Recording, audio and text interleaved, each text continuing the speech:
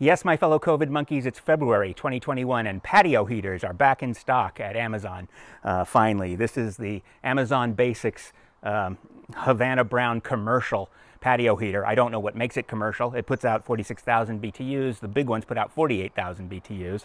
Uh, but anyway, a fine product made in uh, China.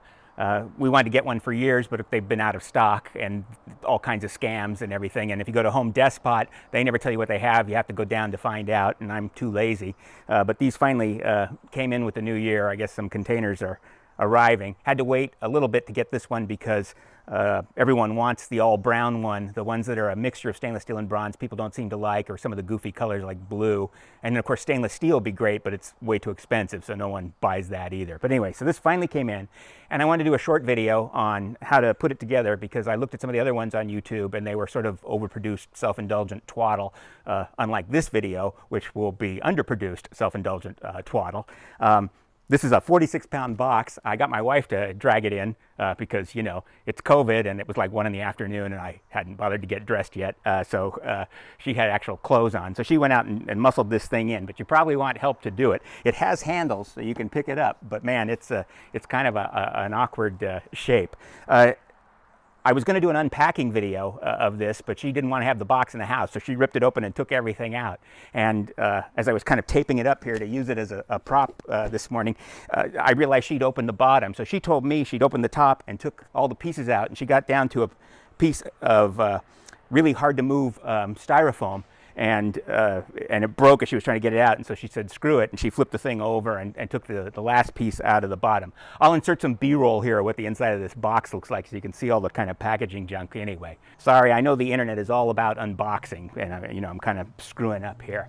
Uh, anyway, I've laid the parts out. Uh, let's go and take a look at those. And here's what you have when everything's finally unpacked, a beautiful instruction manual in several languages and a hardware pack. And kudos to Amazon for making their supplier sort the hardware into groups so you don't have to do it yourself. That's a nice touch. And I haven't seen that before on anything. And then it comes with one of these goofy wrenches that you'll use once and then throw in your wrench drawer and never use again because you've got you know better wrenches and you're not sure what size it is. Uh, the base that your propane tank sits on, that has a provision for weight inside of it. We're going to talk about that in a minute. Wheels that attach to the base so you can tip the whole thing back and roll it around. Those three pieces next to the base are the hoop that covers that go over your propane tank. They bolt onto the base standing up. Then the lower post goes on top of the hoop. The upper post goes on top of the lower post. That decorative drum slides down over the whole mess and covers your propane tank. The burner goes on top of the top post. The hose snakes down the middle and connects to the uh, gas regulator that goes to your tank.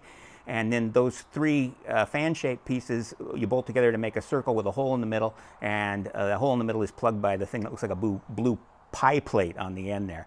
So let's talk about this base for a minute that your propane tank sits on. It's a metal shell with a polypropylene tank molded into the bottom, a reservoir you're supposed to fill with something to give this some weight in addition to the weight of the propane tank that's going to be sitting on here. Now originally I wasn't going to fill it with anything at all because I figured, hey, I live in California, weather's great. Uh, but then my wife reminded me about the windstorm we had three weeks ago that sent a branch crashing down that almost slammed into her car.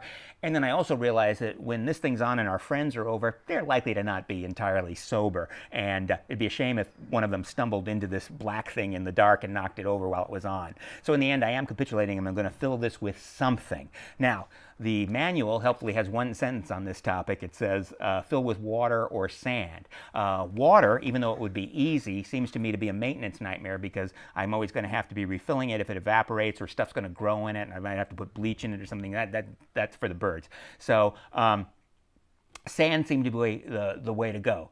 Uh, sand also has the additional advantage of being about one and a half times approximately heavier than uh, water. Well, denser actually, but in this gravity it turns out to be uh, heavier. Um, uh, the question is how much sand to put in. And if you go to Amazon, this question has been asked, and people say uh, 25 pounds, 20 pounds, 40 pounds, who knows? So we're going to find that out today. I went down to the local hardware store and got a 50 pound bag of Quikrete um, uh, play sand, you know, sandbox sand. It's brown, has a bigger grain. I don't care about that because it's going in here. In fact, I could have gotten the white silica, you know, the fine uh, pool filter sand uh, for less money, but it only came in a 70 pound bag, which is more than I need, and it's more dust, and it's harder to get rid of. So I think the playground sand is going to be fine. So let's go out into the back where we can make a mess and figure out how much sand this thing actually holds. I think one of the other things I'm going to do is undo these four, you can see these four screws here, and then there's recessed bolts.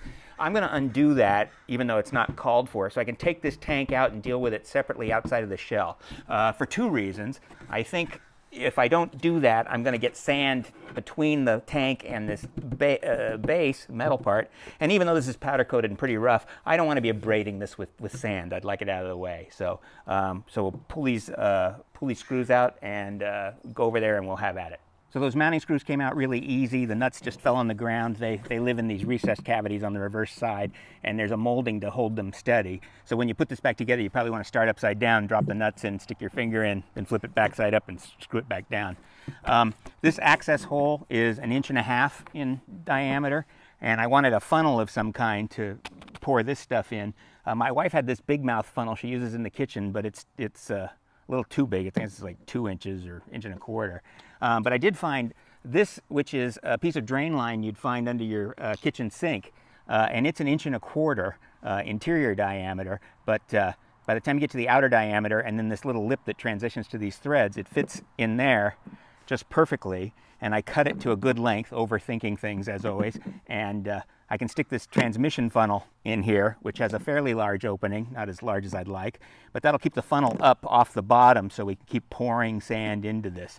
So now it's just pour and slosh and pour and slosh and pour and slosh. If you really got fancy, you could build a nice uh, funnel with a with an angle piece so you could like fill it fill it tilted, you know, and then kind of rotate it around instead of having to fill and slosh and fill and slosh like I'm going to try. We'll see how this works. Um, I don't know. I went ahead and weighed this uh, empty. It weighs two pounds. So we'll see how much sand we put in.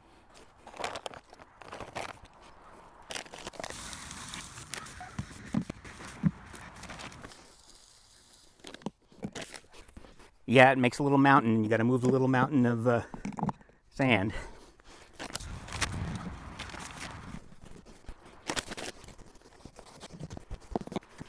Evidently my bag handling skills are not the best.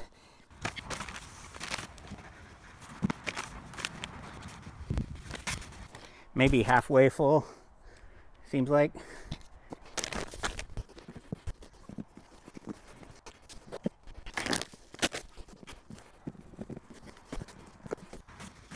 Okay, I think we're to the make a little mountain in the middle and slosh it around stage because I can't get any more angle on this thing.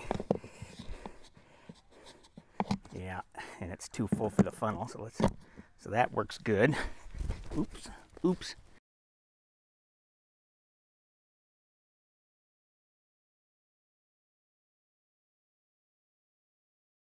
We're very close to the end. It's less than a finger down.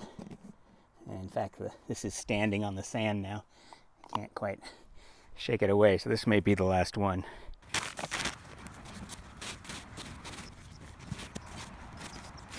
Okay, I'm going to call it a day. There might be a little more room in there, but it's not, it'd be very hard to get to at this point. So let's see how much this weighs. Clean it off and see how much it weighs. So ladies and gentlemen, you'll be happy to know there are 27, 27 pounds of sand in here. So a little more than the nominal 25 people on Amazon were saying. Um, I do want to do this upside down, but uh, I don't want to hurt the metal. So I think I'll turn this upside down, stick the nuts in, and jam some tape or something into these recesses to hold the nuts in, then flip it back over.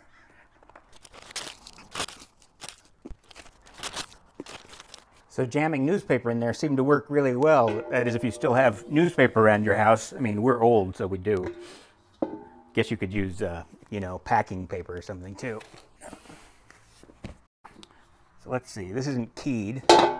Just have to line the holes up.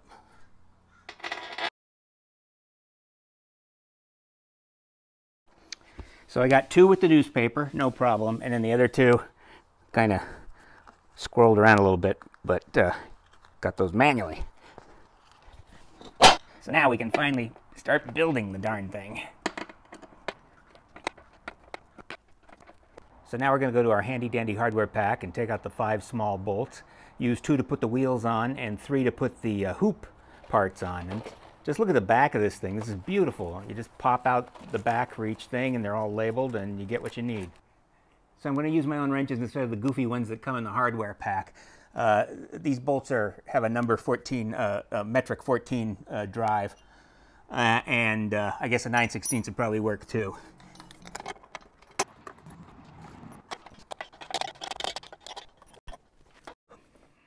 Now I'm going to set the hoop pieces, and I'm going to keep them a little loosey-goosey uh, till everything's sort of aligned up here. you can already see the tank's going to slide in here, and I, I, bet this is these are for the chain to hold the tank in. There's one on each one, so it doesn't matter what goes into what position. Let's get the lower pipe and uh, stick it up here. And now it's time to use six large bolts and six flange nuts to stick the lower pipe on top of the hoop. Paradoxically, these large bolts, longer bolts, have a smaller head. These are number 10 metric uh, drive. And we'll just kind of dry fit everything here all loosey-goosey and then tighten it up. And this is the lower pipe because it has the, the flange on it.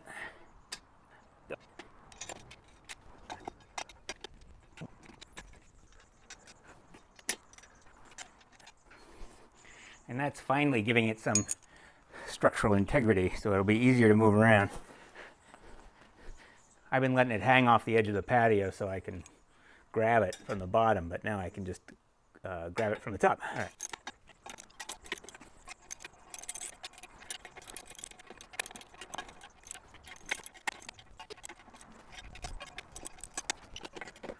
And now we're finally down to some easy fun stuff. Putting the drum on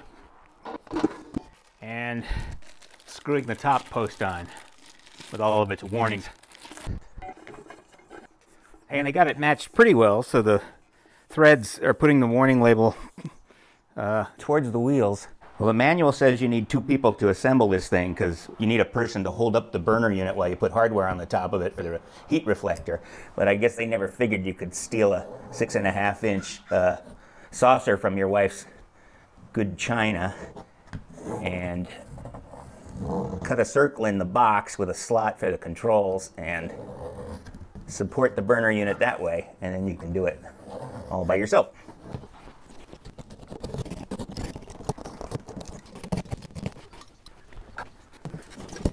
Voila. So now it's time to put in these standoffs they call reflector studs that hold the heat uh, reflector away from the top of the burner unit. And we also use some of these, uh, they call them large flat washers, but they look ridiculously little to me. And now we're ready to put the reflector together. So YouTube is a cruel mistress. I just shot for 40 minutes with two cameras, what I thought was going to be a cool time lapse, and neither camera managed to record anything.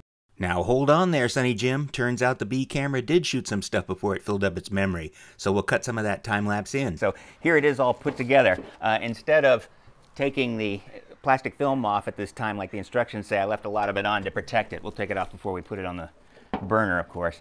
Uh, these small screws and number 10 bolts I originally put in the other way, uh, and then I had second thoughts and turned them so the cap nuts here are on the roof because the thinking being that heat from the burner will heat the head of the head of the screw and then um, and the heat will flow into the cap nut and tend to tighten it. Whereas if you put it the other way, the cap nut will get hot first and tend to loosen it. At least that's probably nonsense, but that was my uh, thinking. And you get a cleaner look underneath, I guess. Um, so you assemble these four outer sections all loosey-goosey, and I had put uh, two bolts in each join, which was a mistake because when I put the pie plate on, I realized the top screw needed to go through the into the pie plate as well. So I had to take these out and put them in a second time. Uh, all these outer donut plate pieces are the same. Um, this ridge doesn't seem to index anything. It just seems to be to strengthen it. Um, I guess that's it. So let's go ahead and put this on the top of the burner. Okay, got out our three wing nuts, and now this will be uh, washer, post, washer, cap, washer, wing nut. The washers seem to have a bad side and a nice side, or an, uh, a rough side and a smooth side.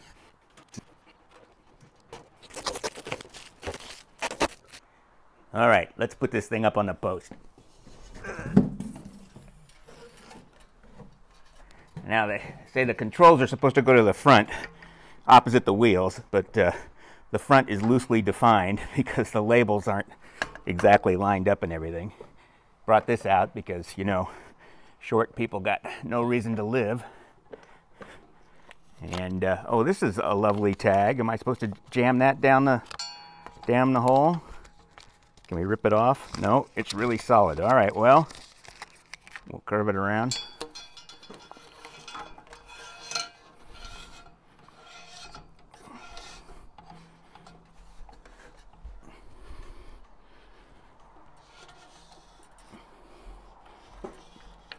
Kind of towards me. And something like that. Now it's time for our final bit of hardware, the four bolts with lock washers. The drawing in the manual isn't very clear, but... And this is also number 10, as always.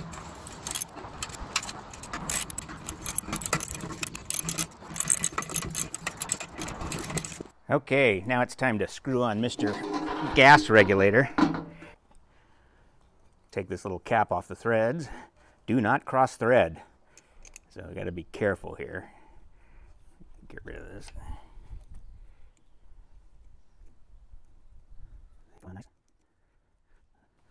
Okay.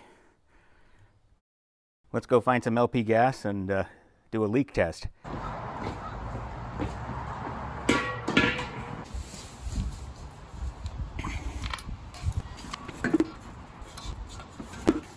Okay, let's turn this on.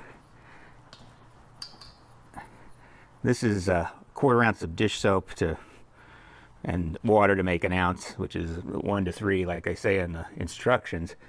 It's not as good as uh, purpose-made uh, micro leak detector you can get in the store, but I don't have any of that stuff. You can get a could use a better applicator too. Huh?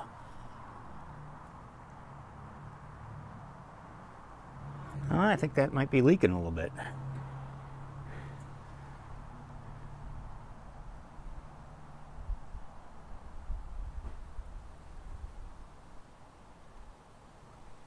Yep, sure is.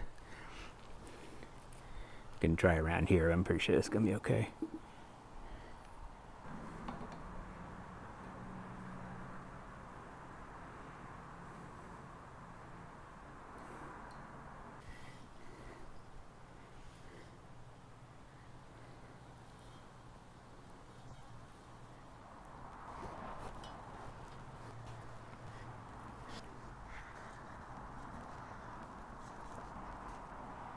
Okay, seems like we're good now.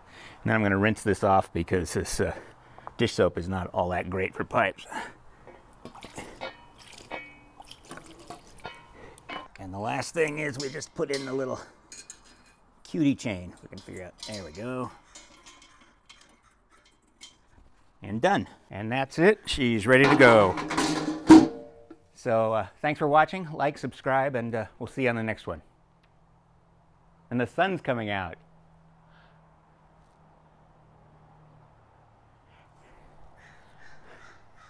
Guess we don't need it.